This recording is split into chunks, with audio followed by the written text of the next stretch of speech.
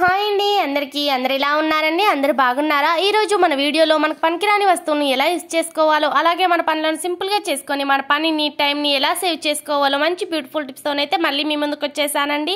వీడియోని ఎండింగ్ వరకు చూడండి చాలా యూస్ఫుల్గా ఉంటాయండి. ఇక ఫస్ట్ టిప్ వచ్చేసి మనం ఎప్పుడైనా బట్టలు ఉతికేటప్పుడు ఎప్పుడైనా ఇలా జరిగే ఉంటుంది కదండి మనం బట్టలు ఉతికేటప్పుడు షర్ట్ పాకెట్లో డబ్బులు ఉంటే డబ్బులు తడిగా అయిపోతే అలాగే ఒక్కోసారి ప్యాంట్ జేబులో ఉన్న డబ్బులు కూడా తడిగా అయిపోతే గనక అలాగే ఇప్పుడైతే వర్షం అయితే పడుతుంది కదండి. వర్షం పడుతున్నప్పుడు మనం వర్షంలో నడుచుకుంటూ వచ్చినప్పుడు చూడండి మనకు డబ్బులు అయితే తడిగా అయిపోతూ ఉంటాయి కదండి. అలాంటప్పుడు ఒక పది ఇరవై రూపాయల నోట్ ఉంటే అంత ప్రాబ్లం ఉండదు కదండి.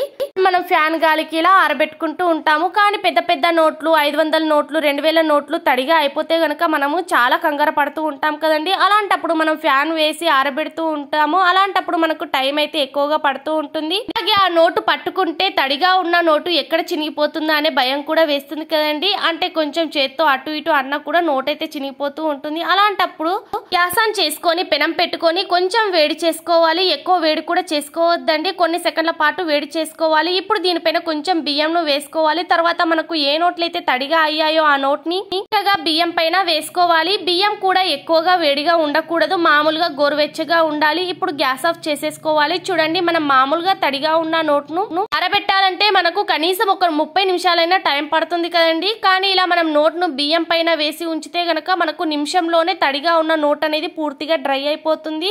డ్రై అయిన తర్వాత నోట్ని పట్టుకొని చూస్తే గనక అసలు నోటు తడిగా ఉండేనా అని అనిపిస్తుందండి. మనకు అంత చక్కగా నోట్ అనేది ఆరిపోతుందండి. ఎక్కువ టైంలో మనకు నోట్ అనేది డ్రై చేసేసుకోవచ్చు. బియ్యం అనేది ఎటువంటి దాన్నైనా తడిదనాన్ని తొందరగా అబ్జర్వ్ చేసేస్తుంది కదండి. ఎప్పుడైనా కానివ్వండి వర్షంలో వస్తున్నప్పుడు లేకపోతే బట్టలు ఉతికేటప్పుడు మనం మర్చిపోయి బట్టలు ఉతికేటప్పుడు షర్ట్ జేబులో కానీ ప్యాంట్ జేబులో కానీ డబ్బులు ఉంటే అవి తడిగా అయిపోతే గనక తప్పకుండా ఈ టిప్ని పాటించి చూడండి. నిమిషంలోనే తడిగా ఉన్న నోట్లు అనేవి డ్రై అయిపోతాయండి. ఈ టిప్ కూడా మీకు నచ్చుతుందని అనుకుంటున్నాను. ఇక నెక్స్ట్ సెకండ్ టిప్ వచ్చేసి హౌస్ వైఫ్ కానివ్వండి కాలేజ్కి వెళ్ళే అమ్మాయిలు కానివ్వండి గాజులు వేసుకోవడం అయితే అందరికి ఇష్టంగా ఉంటుంది కదండి. కానీ గాజులు వేసుకునేటప్పుడు తీసేటప్పుడు చాలా ఇబ్బంది పడుతూ ఉంటాం కదండి. ఎందుకంటే గాజులు ఒక్కోసారి మనకి టైట్గా అయిపోయినప్పుడు మనం చాలా ఇబ్బంది పడుతూ ఉంటాము. ఎందుకంటే గాజులు వేసుకునేటప్పుడు మనకు కొంచెం కష్టంగా ప్రెస్ చేస్తూ వేసుకుంటూ ఉంటాం కదండి. గాజులు తీసేటప్పుడు కూడా మనకు చాలా నొప్పి అనేది వచ్చేస్తూ ఉంటుంది. చేయి కూడా రెడ్గా అయిపోతూ ఉంటుంది కదండి. అలాంటప్పుడు మీకు కూడా ఇలా బ్యాంగిల్స్ టైట్గా అనిపిస్తే చెప్పబోయే చిట్కా పాటించినట్లయితే మనకు బ్యాంగిల్స్ అనేవి చేతికి ఈజీగా ఎక్కేస్తాయండి. ఎప్పుడైనా చూడండి మనం సాక్సులని వేసుకుంటూ ఉంటాం కదండి. సాక్సులని మనం కాళ్ళకు మాత్రమే వేసుకుంటూ ఉంటాం కదండి. కానీ ఈ రోజు సాక్స్ని కాళ్ళ కాళ్ళకు కాకుండా ఈ విధంగా చేతికి అయితే సాక్స్ను వేసేసుకోవాలి. వేసుకున్న తర్వాత చక్కగా అన్ని బ్యాంగిల్స్ని సాక్స్ పైన వచ్చేలాగా ఉంచుకొని మెల్లిమెల్లిగా ఇలా ప్రెస్ చేస్తూ జరిపితే గనక అన్ని బ్యాంగిల్స్కి అయితే ముందటికైతే వచ్చేస్తూ ఉంటాయండి. చేయడం వలన చేయి నొప్పి పెట్టడం రెడ్గా అయిపోవడం కూడా జరగదండి. ఒక్కోసారి గాజులు వేసుకునేటప్పుడు తీసేటప్పుడు గాజులు విరిగిపోతూ ఉంటాయి కదండి. ముఖ్యంగా కాంచు గాజు గాజులు. అలాంటప్పుడు గాజులు వేసుకునేటప్పుడు తీసేటప్పుడు తప్పకుండా ఈ టిప్ని పాటించి చూడండి. ఈ టిప్ కూడా మీకు నచ్చుతుందని అనుకుంటున్నాను. ఇక నెక్స్ట్ థర్డ్ టిప్ వచ్చేసి ఇటువంటి స్క్రబ్బర్ను గ్రీన్ కలర్ స్క్రబ్బర్ను గిన్నెలు కడగడానికి యూస్ చేస్తూ ఉంటాం కదండి. ఈ స్క్రబ్బర్తో మనం గిన్నెలు చక్కగా క్లీన్ అయిపోతాయి. అలాగే షైనింగ్గా కూడా ఉంటాయి కదండి. కానీ ఈ స్క్రబ్బర్ను గిన్నెలు కడగడానికి కాకుండా ఇంకా చాలా రకాలుగా యూజ్ చేసుకోవచ్చండి. ఏంటంటే కొన్ని వస్తువులను మనం షాప్లోకి వెళ్ళి ఆ వస్తువులను అయితే చక్కగా సెట్ చేయించుకుంటూ ఉంటాం కదండి. అలాంటప్పుడు మన డబ్బులు కూడా వేస్ట్ అయిపోతూ ఉంటాయి. అయితే మన కిచెన్ లోన డైలీ యూజ్ చేసే చాకు పీలర్ అలాగే కత్తి కత్తెరని మనం డైలీ యూజ్ చేయడం వలన వాటి పదును షార్ప్నెస్ అనేది తగ్గిపోతూ ఉంటుంది కదండి. అలాంటప్పుడు రూపాయి ఖర్చు లేకుండా ఇలా స్క్రబ్ పైన కొంచెం అటు ఇటు రబ్ చేసుకోవాలండి. ఇలా రబ్ చేసుకున్నట్లయితే మనకు ఎంత మొండిగా ఉన్న చాకు పీలర్ కత్తెర అనేవి చక్కగా షార్ప్ అయిపోతాయండి. కానీ ఒక్కటి మాత్రం గమనించండి ఇక్కడ కేవలం కొత్త స్క్రబ్బర్ను మాత్రమే యూజ్ చేయాలి. అంటే మనం ఇప్పుడు యూజ్ చేసే గిన్నెల స్క్రబ్బర్ని వాడితే గనక అసలు మనకు షార్ప్ అయితే కాదండి. కేవలం కొత్త స్క్రబ్బర్ను మాత్రమే యూజ్ చేయడం వల్ల ఎటువంటి మొండిగా ఉన్నా కానివ్వండి కత్తెర కానివ్వండి పీలర్ కానివ్వండి చక్కగా మనకు షార్ప్గా అయిపోతాయండి. మీరే చూస్తున్నారు కదండి ముందటికి ఇప్పటికి ఎంత చేంజ్గా ఉందో మనకు ఎంత చక్కగా షార్ప్ అయిపోయాయో రూపాయి ఖర్చు లేకుండా ఇంట్లోనే మనం చక్కగా షార్ప్ చేసేసుకోవచ్చు.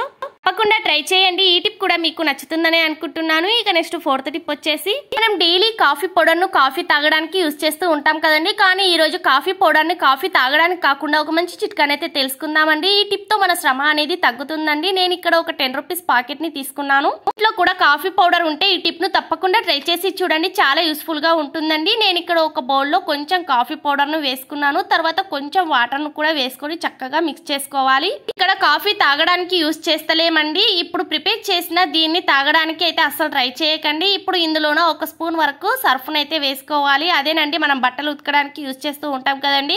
డిటర్జెంట్ పౌడర్ మీ దగ్గర ఏ సర్ఫ్ ఉంటే ఆ సర్ఫ్ అయితే వేసేసుకొని చక్కగా మిక్స్ చేసుకోవాలి.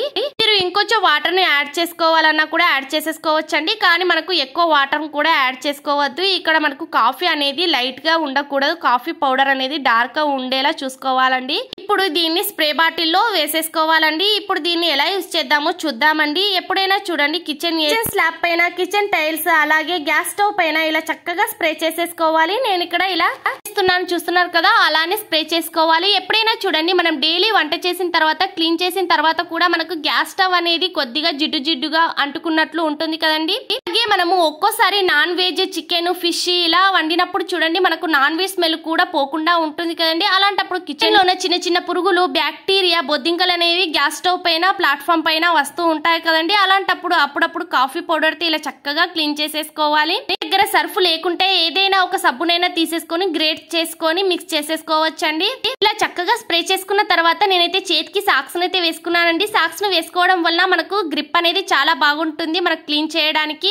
మన కిచెన్ టైల్స్ కూడా నీట్గా ఉంటాయండి. ఎటువంటి జిడ్డు మరకలు లాంటివి ఆయిల్ మరకలు లాంటివి పసుపు మరకలు ఉన్నా కూడా పూర్తిగా తొలగిపోతాయండి. తప్పకుండా ట్రై చేయండి. ఇంకా నెక్స్ట్ ఫిఫ్త్ టిప్ వచ్చేసి కాఫీ పౌడర్ అయితే డైలీ తాగం కదండి. ఎప్పుడైనా ఒకసారి కాఫీ పౌడర్ని యూజ్ చేస్తూ ఉంటాము. అలాంటప్పుడు మనం కట్ చేసిన ప్యాక్ లో గాలి పోయి గట్టిగా అయిపోతూ ఉంటుంది. అలాగే ఒక్కోసారి కాఫీ పౌడర్ ఎక్స్పైర్ అయిపోతే గనక కాఫీ పౌడర్ అయితే పడేస్తూ ఉంటాం కదండి. కానీ ఎక్స్పైర్ అయిన కాఫీ పౌడర్ కానీ గట్టిగా అయిపోయిన కాఫీ పౌడర్ని పడేయకుండా ఇలా గ్యాస్ ఆన్ చేసుకొని పెనం పెట్టుకొని గ్యాస్ను లో ఫ్లేమ్లో ఉంచుకోవాలి. కొంచెం వేడి కాగానే కాఫీ పౌడర్ను వేసుకోవాలండి. ఇలా కాఫీ పౌడర్ వేసిన తర్వాత చూడండి మనకు ఈ పౌడర్ లోంచి పొగ అనేది వస్తుందండి. ఒక్కోసారి చూడండి వర్షాకాలంలో మన ఇంటిని ఎంత నీట్గా ఉంచుకున్నా కూడా మనకు ముక్కు వాసన అనేది వస్తూ ఉంటుంది కదండి. అలాంటప్పుడు రూమ్ ఫ్రెషర్ని యూజ్ చేసినా కూడా ఆ ముక్కు వాసన అనేది పోకుండా ఉంటుంది కదండి.